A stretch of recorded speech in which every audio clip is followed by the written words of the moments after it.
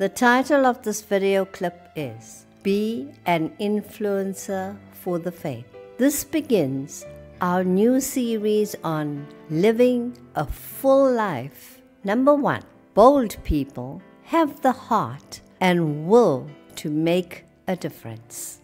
The Christian journey requires us to step out of our comfort zones, face our fears, and pursue our dreams. It is a contest and sometimes a struggle against the world, our own fleshly desires and temptations. It is the good fight of faith.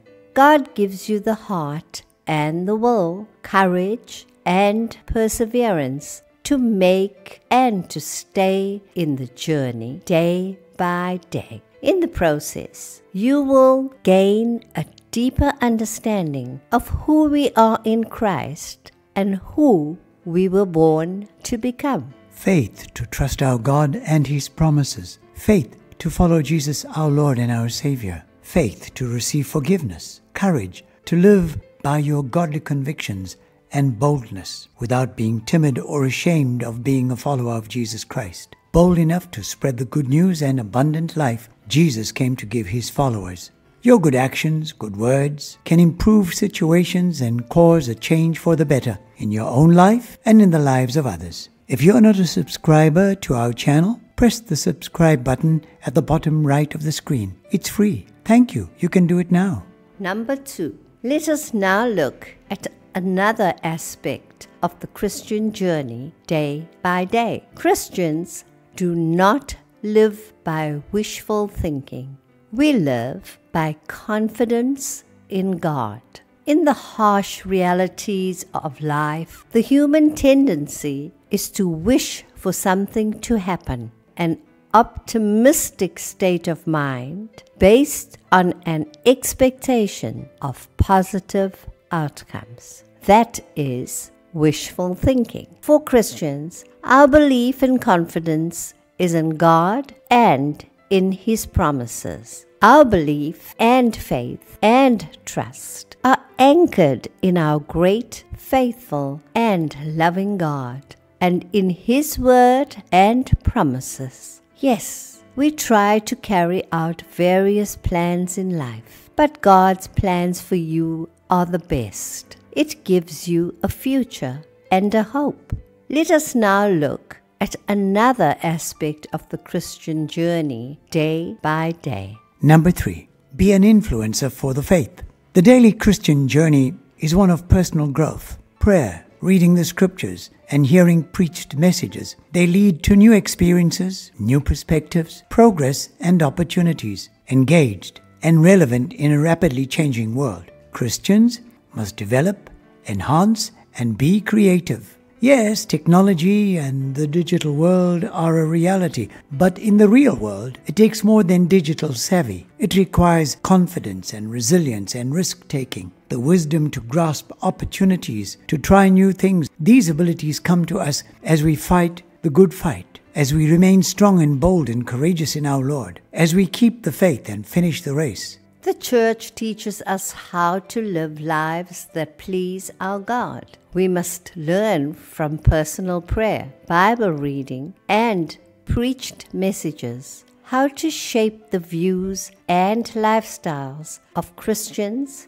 and people who can be Christians. Where does all this action take place? In your daily life. It happens daily. Be an influencer for the faith. Number four, let us now look at another aspect of the Christian journey day by day. Know God and do mighty exploits and deeds. Do not conceal your talents or be extremely modest. Let your talents and good deeds shine and be seen by others. Live true to the life the Christian faith teaches followers of Christ. So those who do not believe in God or follow Jesus Christ, even if they accuse you of doing wrong, may see your good deeds and glorify God. Matthew 5:16 says, "Let your light so shine before men that they may see your good works and glorify your Father which is in heaven. Know God and do mighty exploits and deeds."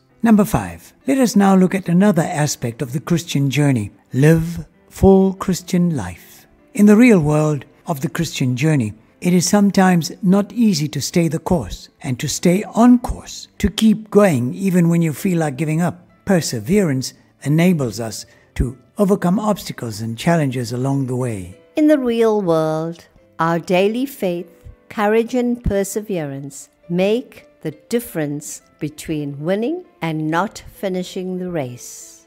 You have started the race. You must finish the race. Keep the faith. Trust our God to show and tell you where the hazards are, the issues at stake, and the hidden traps. Do not fear. Do not be terrified. The Lord your God goes with you. He shall come to stand with you in all your struggles and trials. You will come through to see a new and better day of promotion and high esteem.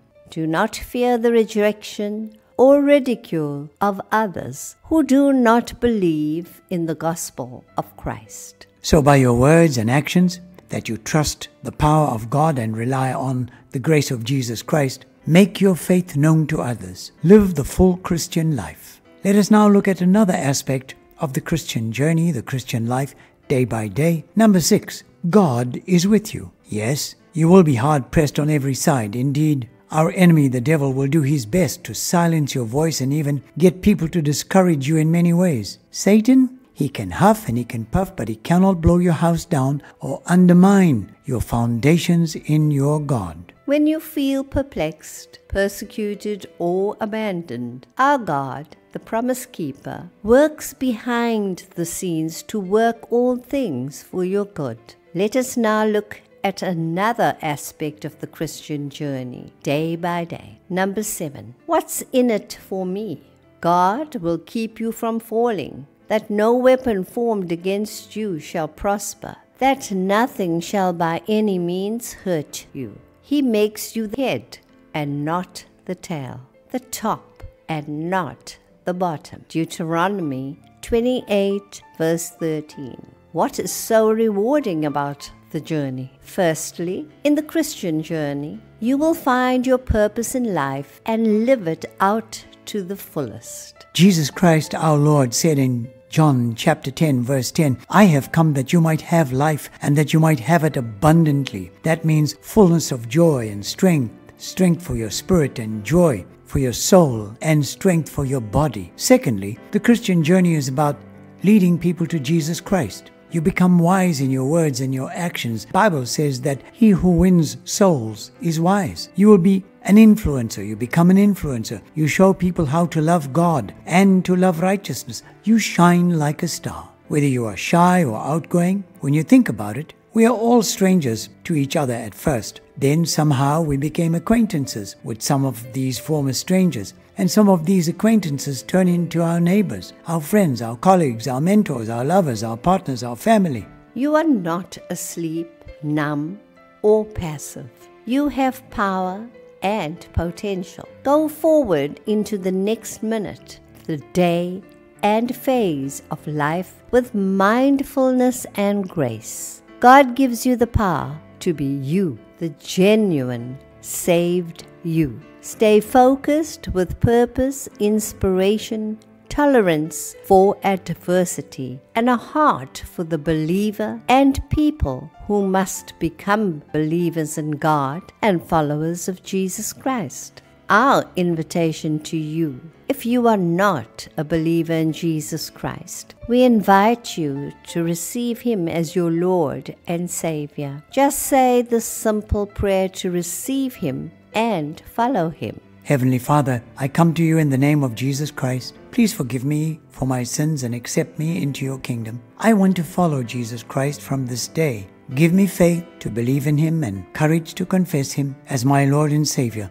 I ask and I pray this in the name of Jesus Christ, and I say, Amen. We welcome you. We say welcome. Perhaps there was a time when you were a follower of Jesus Christ and you have grown cold and distant. and have separated yourself from the Christian faith and from Jesus, we invite you to come back to the Lord Jesus Christ. Just pray this simple prayer. Father God, in the name of Jesus Christ, I pray for your forgiveness and love to reach out to me and restore me to the family of God in Christ Jesus. I rededicate my life to you in the name of your Son, Jesus, and I say, Amen. We say, Welcome back.